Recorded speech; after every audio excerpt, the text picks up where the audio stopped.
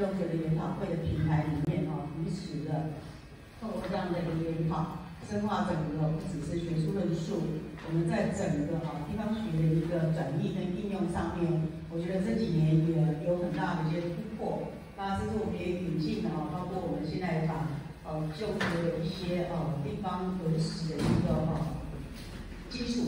基础跟资源啊，那呃所爬出这些史料啊，那透过包括结合金融学的呃这个是不管是产业观光，甚至包括在导览啊，但是在导览的培育上面的应用，那让整个透过这样的一个转移活化整个基隆学的探讨，甚至透过金融学来面对除了呃回顾过去的一个金融的发展历史啊，那同时我想也是在呃就现在的产现在的一个现状发展。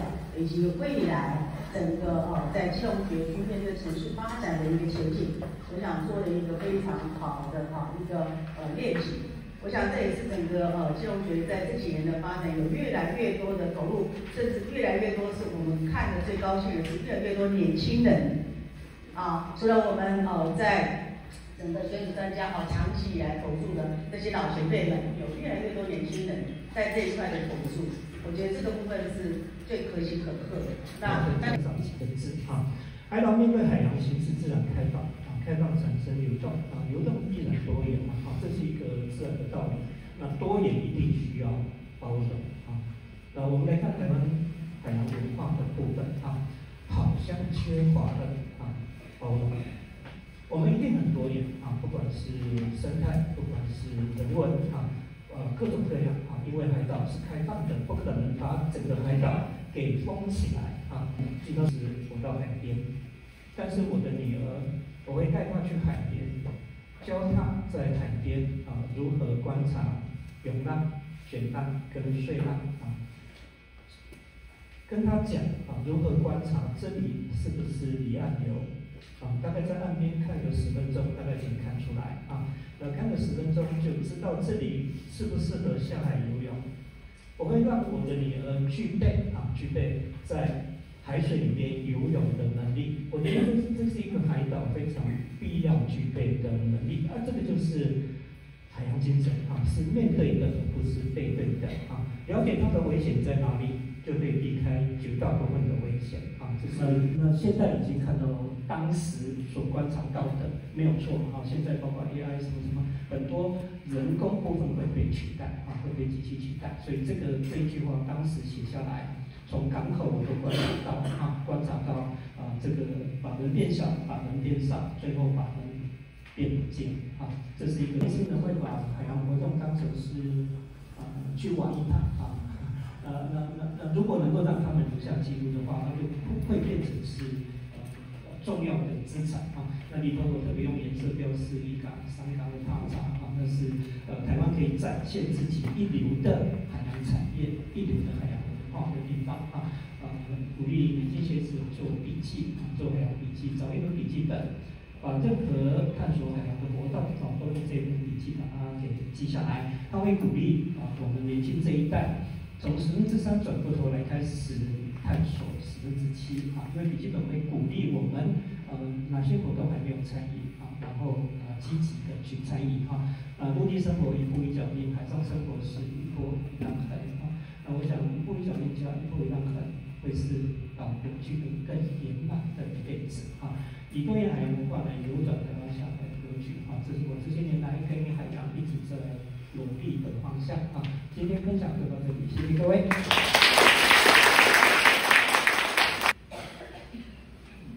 这份资料我就给我至少我认为说，台湾没办法被干什么，从八斗子开始。当然你可可有不同的看法，但是从那个淡水厅自己记载的话，我认为应该从八斗子开始，因为九色里面都占了四十八个。那第二个在哪里？第二个最多好像三十六个洞，每洞是在里面？有三家，三条杠，有三三条杠，所以这两个地方算。我认为是算是基隆煤矿的起源地。多的煤矿要从哪边来？刚才讲过，你要从什么？基隆、台湾、基隆这边过去。啊，所以它对金国的水势的建立还是有一大比例的贡献。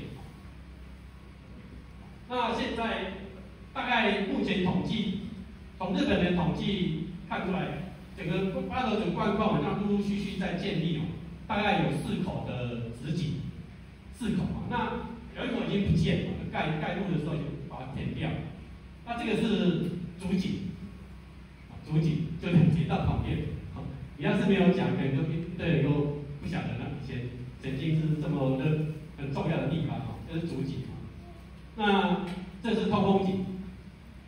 啊，现在把它叫做什么？进攻井。但是注意哦，它不是主坑的，它是什么？封坑。这小地方搞清。那呃，我们这一场哈那个呃研讨会哈，我想已经延迟了哈二十分钟哈，我们要结束。